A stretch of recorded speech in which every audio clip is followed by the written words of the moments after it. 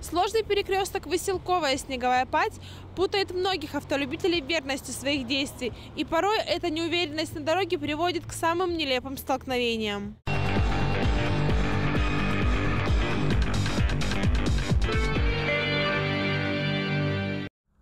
Столкновение на перекрестке явление нередкое, особенно если этот перекресток на Василковой. Движение здесь оживленное, и иной раз даже самые опытные автомобилисты теряют сноровку и начинают сомневаться в каждом своем маневре. Наличие светофора иногда только усугубляет ситуацию, а не делает ее проще. В этот раз светофор не помог двум автолюбителям разобраться в приоритетах на дороге. Рулевой на пыжике двигался по главной дороге на Василковую, у поворота на БАМ уже стоял Toyota Fielder и ожидал заветный сигнал светофора. Все шло по правилам, как вдруг владелец универсала выжимает газ и начинает идти на таран Митсубиси. Владелец джипа, оторопев от действий своего оппонента, не успел уйти от столкновения.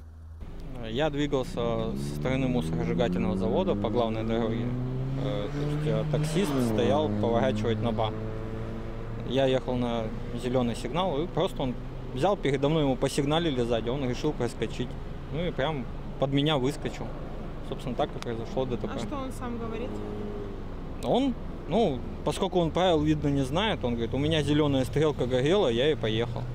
А все оказалось очень банально. Рулевой Филдера перепутал цвет светофора, уверенности ему придал еще и звуковой сигнал проезжающей мимо машины, и он полностью уверенный в своем приоритете одним рывком протаранил мощный джип. В результате путаницы обе машины оказались не на ходу. От сильнейшего удара у Паджеро вытек тосол, разворотила морду, седану удар пришелся на правую сторону, с которой и замяло колесо. В машине сработали подушки безопасности, которые уберегли водителя от серьезных травм. Правда, теперь всем придется провести у своих разбитых машин не один час, прежде чем они заполнят все бумаги и дождутся помощи для авто в виде эвакуатора.